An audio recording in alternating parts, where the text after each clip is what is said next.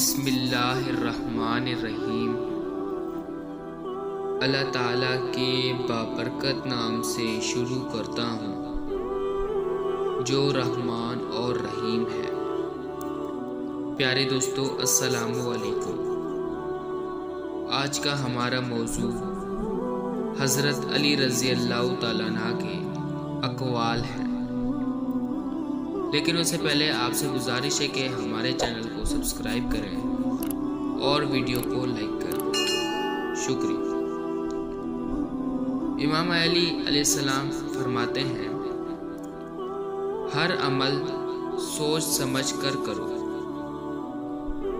क्योंकि हर अमल के अंदर उसका अंजाम यूँ छुपा होता है जैसे बीज के अंदर दरख्त। कितने लोग ऐसे हैं जो अपनी जबान की वजह से हलाक हो जाते हैं? जिस शख्स को ज़ाहिर व बातिन एक हो और उसके कौलो अमल में मुताबकत पाई जाती हो, ऐसा ही शख्स अमानत अदा करने वाला है और उसकी अदालत साबित है। कुरान वो रोशन चराग है जिसकी लू कभी खामोश नहीं हो सकती। फ़िक्र नज़र का ऐसा मोजन दरिया है जिसकी गहराई का अंदाज़ा लगाना इंसानी ताकत से बाहर है। जब तुम दुनिया की मुफलसी से तंग आ जाओ और रिस्क का रास्ता ना निकले तो सदका देकर अल्लाह से तजारत कर लो।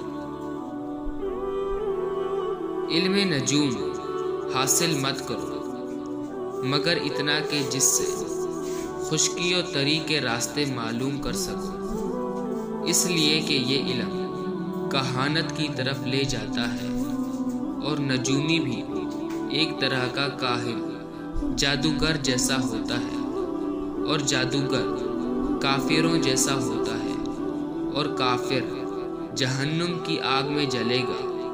चलो और नाम खुदा लेकर निकल पड़ो। जो ज़्यादा बातें करेगा, उससे गलतियाँ भी ज़्यादा होंगी। और जिसकी खताएँ ज़्यादा होंगी, उसकी हया शर्म कम होगी। और जिसकी शर्म कम होगी, उसका तकवा कम होगा। और जिसका तकवा कम होगा, उसका कलब मुर्दा हो जाएगा।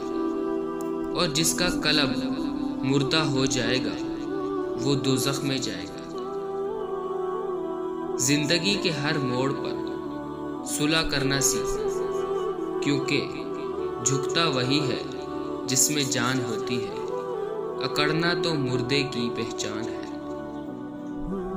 इंसान की तमाम परेशानियाँ दो बातों की वजह से है। नंबर एक, तकदीर से ज़्यादा चाहता है। और नंबर दो, वक्त से पहले चाहता है।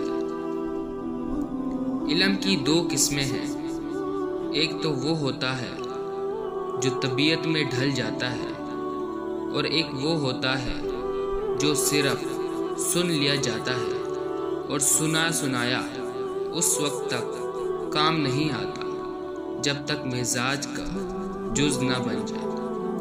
प्यारे दोस्तों, उम्मीद करता हूँ कि आज की वीडियो आपको पसंद आई अगर हमारी ये वीडियो पसंद आई तो वीडियो को लाइक कर दें और हमारे चैनल को सब्सक्राइब कर दें। इन अगली वीडियो में मिलेंगे।